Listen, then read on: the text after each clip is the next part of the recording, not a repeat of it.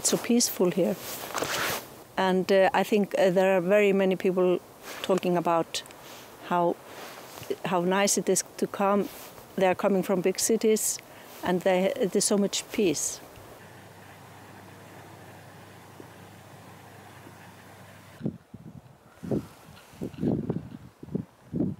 So, uh, in the beginning, it was a young man working here at our farm. He was 15 years and he was uh, from the community, very close. He was uh, working, maybe driving tractor in the field, exactly here. And we could not imagine this would happen in the future. This was a field. We started to plant trees 28 years ago. And two years ago, he was coming to us to ask, Do you want to be a part of this adventure? To uh, put, try to put one bubble. We were not thinking about nine bubbles at that time, not at all. But to start, to try, and this is how it is now.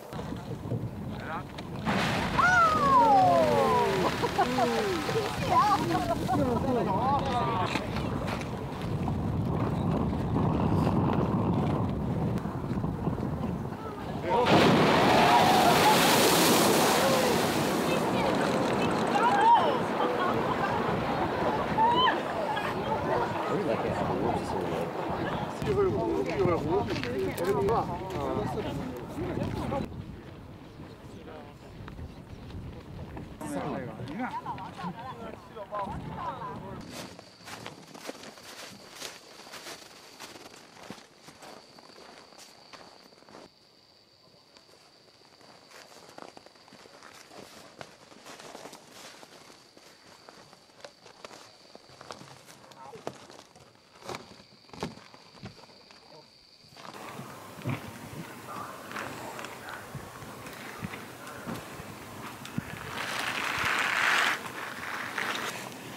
You see anything?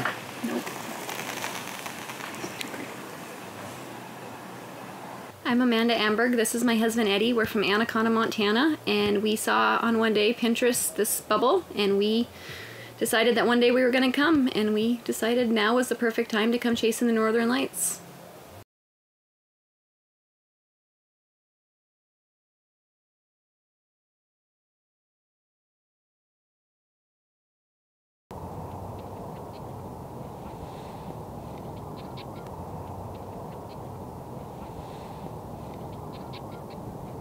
There's no limit to it. The, the limit is the ingenuity of the individual who are coming into the industry, so to speak.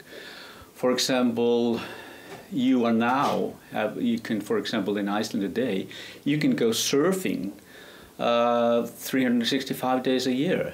One would not have thought of that some years ago. So there's, there is no limit to what people come up with. You know, glacier walking, glacier hiking, whatever. So it's, it's just, it's limitless.